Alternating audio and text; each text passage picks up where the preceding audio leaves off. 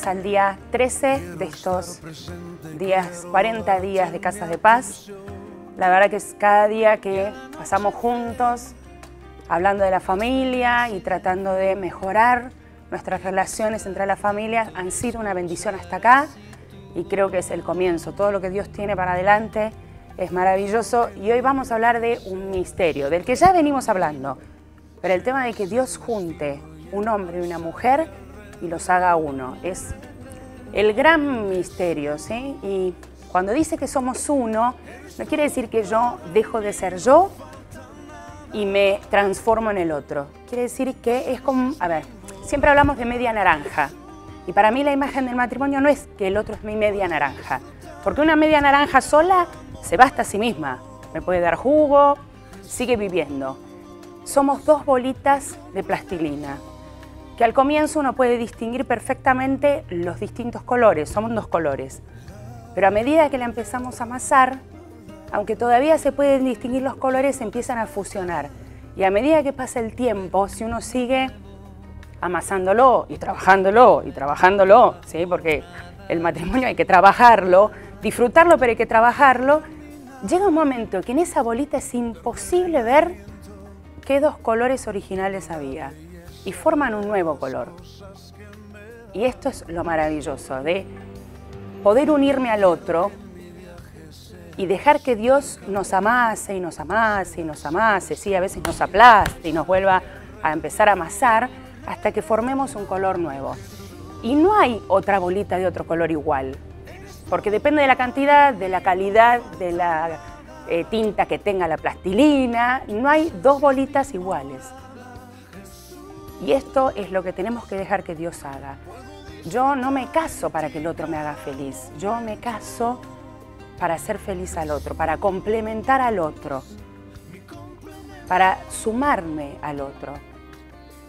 Muchas veces decimos, y no hace lo que yo quiero. Eh, bueno, yo me caso pensando en que lo voy a cambiar. Ese no es el motivo del matrimonio. El misterio del matrimonio es lograr que yo en Dios pueda hacer feliz al otro, que me sume, que deje que Dios, como las bolitas, me amase y me amase y me complemente con el otro y llegar a ser un color nuevo. La Biblia dice, sí, ya lo hemos visto, dejará el hombre a su padre y a su madre, se unirá a su mujer y serán uno. Pero está hecho así perfectamente. ¿Sí? Y cuando llegamos a hacer esa bolita, y el día de mañana cuando tenemos hijos, los hijos nos ven y hasta ven cosas que dicen, pero esto, cada vez te pareces más a papá o cada vez te pareces más a mamá.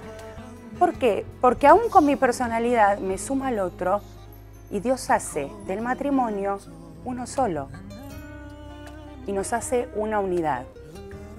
Es imposible si Dios no está en el medio.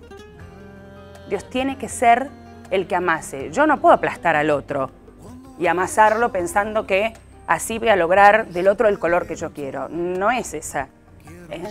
La cosa es dejar que Dios esté en el medio de mi matrimonio y nos funda tanto que logremos ser un nuevo color.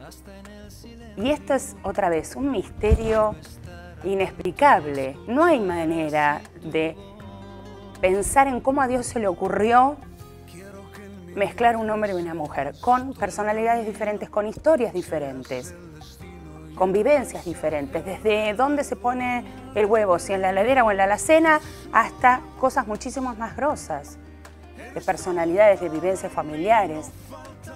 Pero ¿saben qué? Eso, en cuanto Dios une dos personas, pasa a ser insignificante. Si permitimos que Dios sea el centro de nuestro matrimonio y logre este misterio del que hablamos. Dejará el hombre a su padre y a su madre y serán uno. Y la unidad no se puede destruir. Y si tenés problemas con tu mujer, tenés problemas con tu varón, recurrí a Dios. Esto que decíamos siempre, lo que Dios unió, no lo separa el hombre, tiene que ser para nosotros la premisa. El matrimonio tiene puerta de entrada, nunca de salida. Entonces, otra vez, si tenés problemas Anda a Dios, lleva tu matrimonio a Dios. ¿Cuántas veces pasamos hablando mal de nuestros maridos o de nuestras mujeres delante de Dios? Si hiciéramos la cuenta, ¿cuántas veces le decimos a Dios, gracias por el hombre que me diste? ¿O cuántas veces le decimos, gracias por la mujer que me diste? Perderíamos como en la guerra. Generalmente vamos a Dios a quejarnos, la mujer que me diste. Ella tiene la culpa, él tiene la culpa. Porque esto es por igual, lo hacemos mujeres y varones. Probá de ir a Dios y decirle todo lo bueno de tu mujer o de tu varón. Decirle gracias por el esposo que me diste. Gracias porque no podría ser mejor.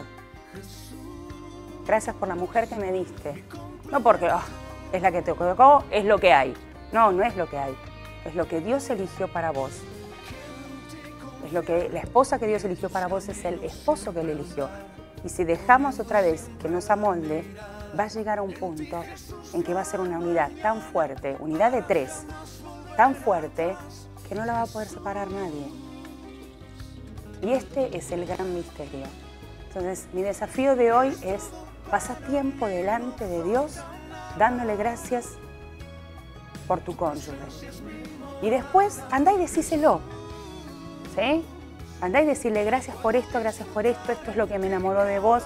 Tenemos diferencias, Dios nos está moldando. Fíjate, las piernas ya están tan unidas que no podemos saber de qué color eran. Y hacelo. Pasa tiempo disfrutando de tu matrimonio. Porque sabes qué, esto después es como cuando tiras una onda en el agua, una piedra en el agua y empiezan las ondas. Esto después pasa a tus hijos, a tus vecinos. La base de la familia es el matrimonio. Si permitimos que Satanás se meta ahí y lo rompa, rompe la familia. Entonces, cuidemos nuestros matrimonios. Y otra vez, Dios no arma los misterios porque sí.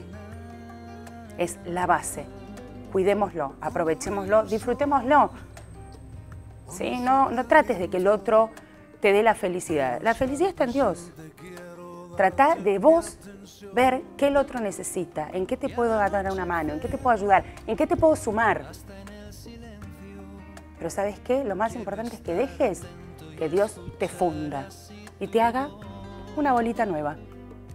Gracias, Dios te bendiga. que en mi viaje seas tú el camino, seas el destino y el paisaje alrededor.